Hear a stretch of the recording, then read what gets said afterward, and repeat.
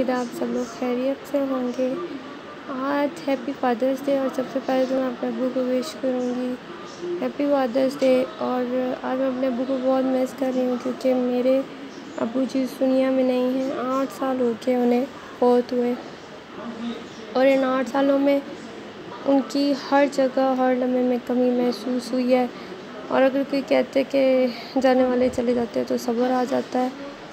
तो सब्र तो आपको तभी आता है जब आप खुद ही शायद इस दुनिया से जाते हैं। दुनिया के काम चलते रहते हैं, लेकिन याद आपको बहुत ज़्यादा आते हैं।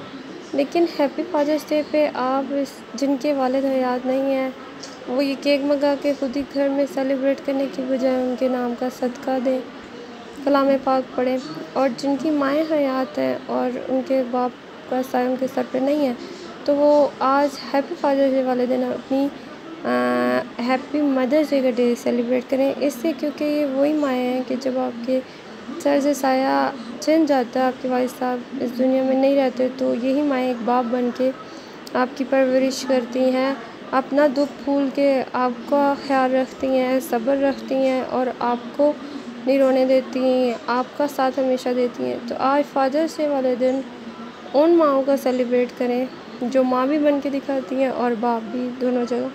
मैं वैसे जो तीन भाई हैं, और मेरे लिए वही बाप का मकाम रखते हैं, क्योंकि उन्होंने भी बहुत ख्याल रखा, लेकिन आज हैप्पी फादर्स डे वाले दिन मदर्स डे का डे सेलिब्रेट करें सब्सक्राइब करें लाइक करें, अल्लाह हाफ़